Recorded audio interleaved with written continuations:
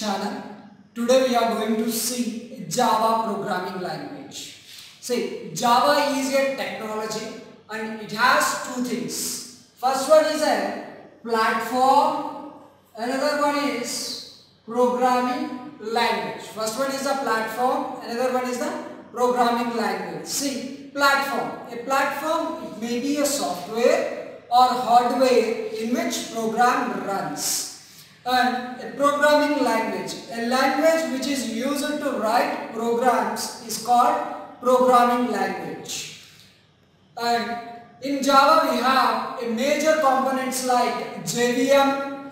JVM stands for Java Virtual Machine and also called as interpreter. A JVM which converts whole program into line by line and a JVM is a slow compared to interpreter and JRE next component is a JRE JRE is nothing but Java runtime environment and also called as platform.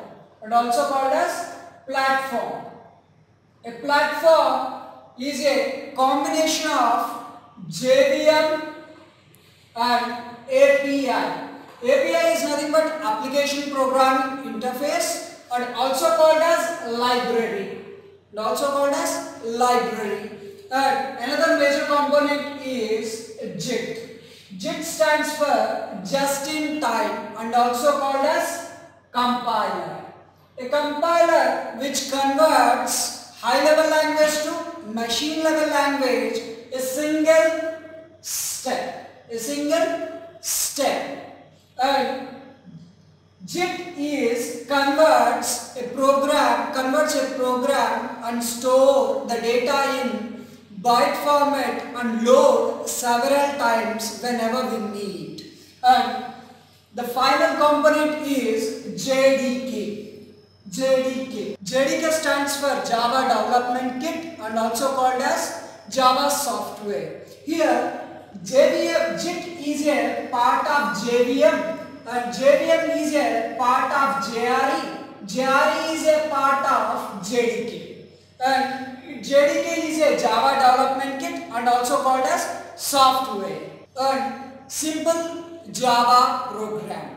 See, whenever we start programming, we must do, we must write Java programming starts with class and class name must starts with capital letter.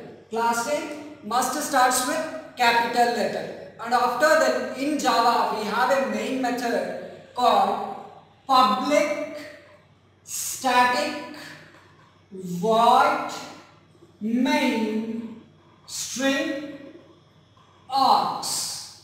Here public is a access modifier static is a keyword, void is a return type, main is a main method, string and args are parameters. And string yes must be capital.